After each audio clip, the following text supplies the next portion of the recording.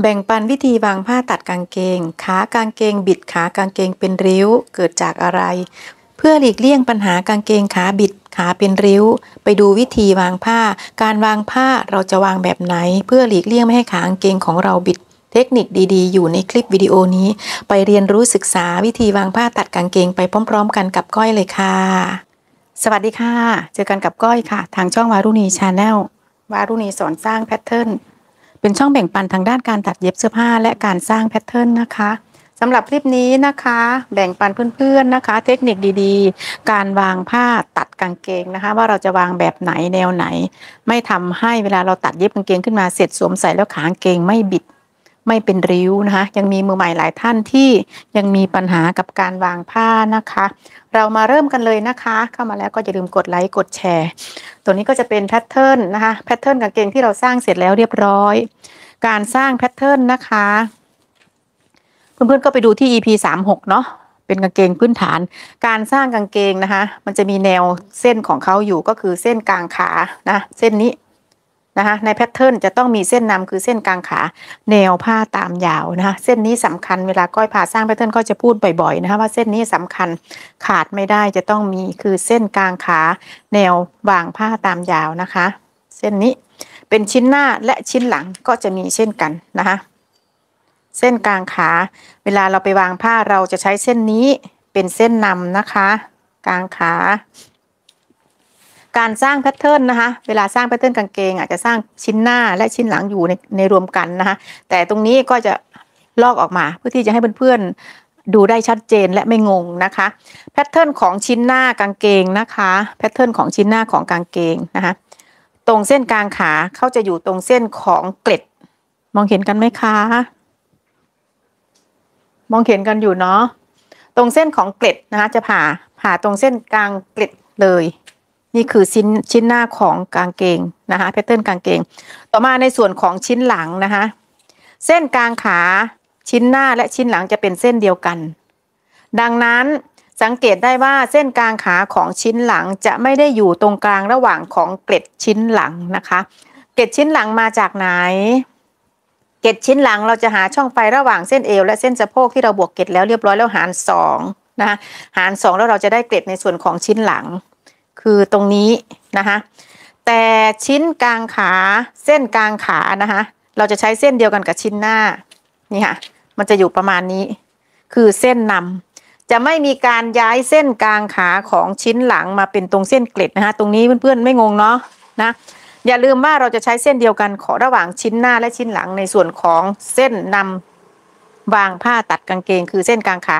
ไปต่อเลยนะคะ มาดูวิธีวางผ้านะคะ ผ้า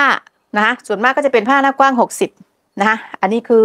ก้อยทำตัวย่อนะคะ เพราะว่าลูกค้าสั่งแพทเทิร์นไปหลายตัวแล้ววางผ้าแล้วมีปัญหาเรื่องขาบิด เพราะว่าช่างช่างแพทเทิร์นกับช่างกางเกง ช่างตัดนะมันเขาเขาไม่เก่งเรื่องแพทเทิร์นนะเนาะการวางผ้า ผ้ามีเท่าไหร่เขาจะวางไปเลยนะคะการวางผ้านี่สำคัญ ส่วนมากจะเป็นผ้าหน้ากว้าง 60 อันนี้คือผ้าตามยาวนี่คือริมผ้านะคะอันนี้ก็จะสาธิตให้ดูนี่คือริมผ้านะคะเราวางสันทบเข้ามาแบบนี้ริมผ้า ตรงจุดนี้คือ หน้ากว่าเออเขาเรียกอะไรผ้าหน้าขวาเออผ้าขวางผ้าขวางและผ้าตามยาว ผ้าตามยาวก็คือตรงส่วนของริมผ้า ผ้าขวางก็จะเป็นส่วนนี้นะตรงส่วนนี้ ทีนี้การวางกางผ้าตัดกางเกงนะคะเราจะวางทบผ้ามาแบบนี้ เราจะใช้ริมผ้าเป็นหลักเกณฑ์ ตรงริมผ้าตรงนี้เป็นหลักนะคะขากางเกงเราจะได้ไม่บิด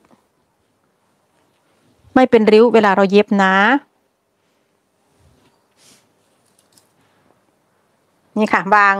ผ้าให้ทบกันแบบนี้ริมผ้า นี่ค่ะ ปักให้เรียบร้อย แบบนี้นะ นี่ค่ะ ปักแบบนี้เลย การวางผ้านะคะ เราจะวางในส่วนชิ้นที่ใหญ่ที่สุดก่อนก็คือชิ้นหลังนะคะ กางเกงนะ นี่ค่ะ มันจะมีชิ้นหลังมันจะใหญ่กว่าเพราะว่าเป้าเขาจะยาวกว่าถูกต้องไหมนี่ค่ะ การวางผ้านะคะ ทีนี้เราจะวางในส่วนริมผ้านะคะหัวใจหลักคือเส้นกลางขานี่ค่ะเส้นนี้นะคะเส้นนี้เส้นนี้ยาวลงมาเลยนะริมผ้าเป็นหลักนี่ค่ะเราวางลงไปเลยค่ะ วางแบบนี้ เราจะต้องเหลือในส่วนของตะเข็บผ้า มองเห็นกันไหมคะ มันล้นโต๊ะไหมไม่ล้นเนาะ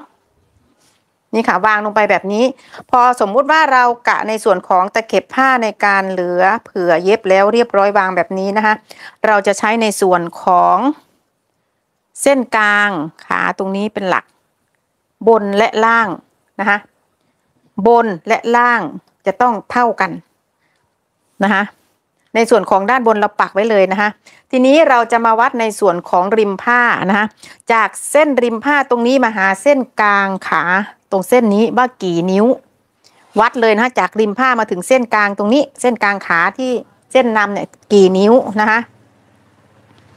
ของก้อยห้านิ้วครึ่ง ของเพื่อนๆเท่าไหร่ก็คือตัวเลขตัวนั้นไม่ใช่ตัวเลขบังคับนะคะเราใช้แค่ตัวเลขเป็นตัววัดนำในส่วนของข้างบนและข้างล่างแค่นั้นเอง ข้างบน 5 นิ้วครึ่ง ในส่วนของข้างล่างนะคะปลายขาก็ต้อง 5 นิ้วครึ่งเช่นกัน